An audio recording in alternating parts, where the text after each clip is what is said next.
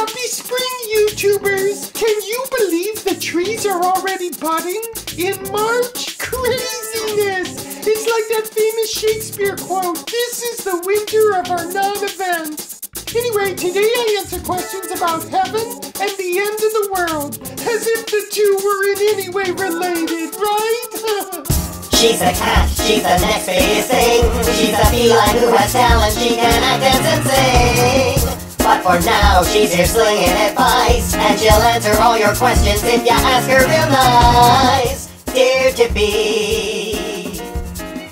Okay, so there's been a lot of talk about the world ending in 2012. In fact, the Kasour Moon asks, what will you do for 2012? At the same time that Sonic Lover 8888 asks, will the world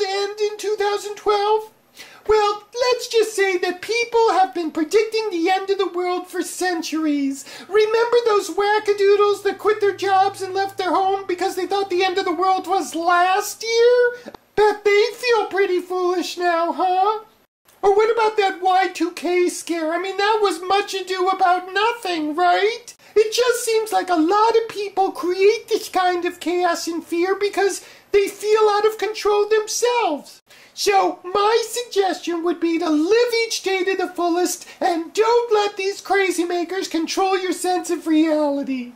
Which brings us to our next question from the Shotgun 2413 who asks, Do you think heaven is real?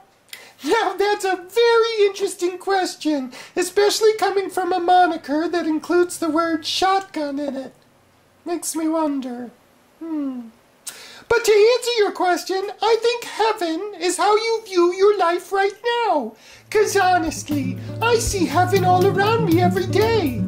Beautiful flowers and amazing landscapes, in the warm touch of a human hand petting my fur, in the love and friendship I feel for my fellow cats, even in the joy I get from watching a good movie or listening to a great song. Ring on it, la la la la la la, ring on it.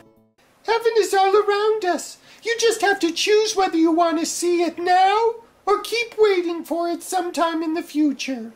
And last up, Katie Kitten 8 asks, How do you feel about the outdoors? Please, a sir. Well, I'm not sure what a sir means, but I will try to answer your question. How do I feel about the outdoors? Well, aren't they really the same thing as the indoors, just going in a different direction? I think the best doors are the open doors, because then you can go anywhere you want. And that's my policy, the open door policy. Okay, all for now. See you on the other side of the tunic can. She's a cat, she's the next biggest thing. She's a feline who has talent, she can act, dance, and sing. But for now, she's here slinging advice, and she'll answer all your questions if you ask her real nice. Dear Tipi. Check out the 2012 collection of cat clips, mugs, t-shirts, mousepads, CDs, and more at wizardofwit.com.